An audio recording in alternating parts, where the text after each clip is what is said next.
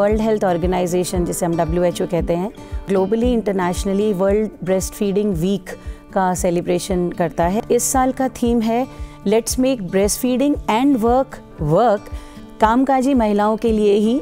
इस वर्ष का स्तनपान वीक का जो सेलिब्रेशन है वो इंपॉर्टेंट है बिकॉज़ अब हमें फोकस करना है कि कामकाजी महिलाएँ जब अपने काम को वापस ज्वाइन करती हैं बच्चे को जन्म देने के बाद तो वो किस तरह से इफ़ेक्टिवली अपना स्तनपान कंटिन्यू रख सकती हैं। आजकल के मटर्निटी बेनिफिट में यह प्रावधान है कि जिस भी इंस्टीट्यूट में या किसी काम की जगह पर 50 से ज़्यादा लोग एम्प्लॉयड हैं वहाँ पर एक ऐसी सुविधा या ऐसा क्रश होना ज़रूरी है, जहाँ पर बच्चों की देखभाल की जा सके और उस क्रश में हर स्तनपान कराने वाली माँ को चार से पाँच बार एंट्री अलाउड है, जहाँ वो अपने बच्चे को निर्भीक होकर स्तनपान करा सके।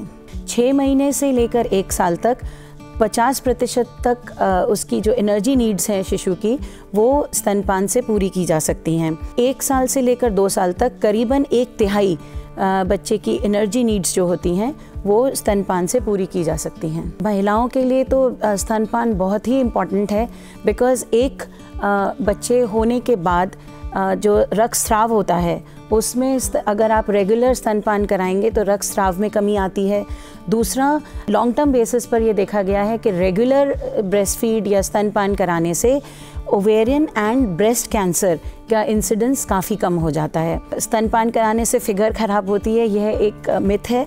इनफैक्ट आप उसको हार्मोनल बैलेंस को मेंटेन कर सकते हैं यदि आप रेगुलरली स्तनपान कराएँ। और इनफैक्ट एक एक्सक्लूसिव ब्रेस्ट फीडिंग का कॉन्सेप्ट है, जिसका मतलब है कि छः महीने तक सिर्फ़ स्तनपान कराना है। बच्चे को कोई एडिशनल पानी या ऊपर का दूध या कोई फार्मूला फ़ीड कुछ भी देने की ज़रूरत नहीं है। महिलाओं को ये ध्यान रखना चाहिए कि जब भी वो अपने शिशु को स्तनपान कराएँ, उसको एक कंफर्टेबल पोजीशन में होल्ड करें।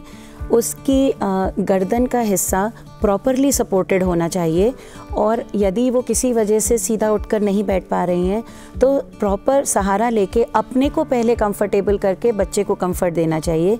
यह ध्यान रखना चाहिए कि स्तनपान कराते समय बच्चे की नाक बंद ना हो और बच्चे के मुँह में महिला के स्तन का काला वाला भाग निपल के पास का अच्छी मात्रा में बच्चे के मुँह के अंदर होना चाहिए और बच्चे के नीचे का होट बाहर की तरफ़ रोल होकर एडिक्वेटली माँ के ब्रेस्ट से लैच होना चाहिए, जिसे हम कहते हैं प्रॉपर लैचिंग इस बात का ध्यान रखना बहुत ज़रूरी है। यदि बच्चा एक दिन में तीन से चार बार एडिक्वेट पेशाब कर लेता है तो इसका मतलब है कि वह दूध ठीक से पी पा रहा है। खान पान के ख्याल में यह ध्यान रखना होता है कि उसको अपने कैल्शियम और आयरन का इनटेक जो उसे गर्भावस्था के दौरान बताया गया था, वो कंटिन्यू रखना है एटलीस्ट थ्री मंथ्स तक शिशु के जन्म के बाद। और ऑफ़ कोर्स अपना बैलेंस डाइट के साथ साथ उसे प्रोटीन और कैल्शियम की मात्रा का ध्यान रखना है। बच्चे को उस समय तक दूध पिलाएँ जब तक बच्चा अपने आप जिसे कहते हैं स्तन का निपल छोड़ ना दे या फिर सो ना जाए।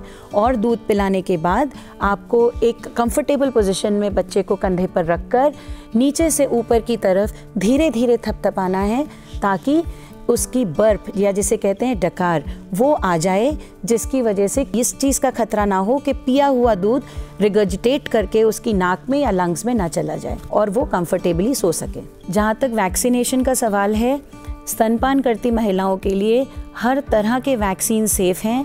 एक येलो फीवर और स्मॉल पॉक्स की वैक्सीन को छोड़कर शिशु के जन्म से लेकर छः महीने तक सिर्फ़ स्तनपान कराएँ और ऊपर की कोई भी चीज़ ना दें, क्योंकि आगे चलकर इससे आपके शिशु के डेवलपमेंट में बहुत फ़र्क पड़ता है और कई ऐसी बीमारियाँ हैं, जैसे ओबेसिटी जो आजकल बहुत प्रचलन में है।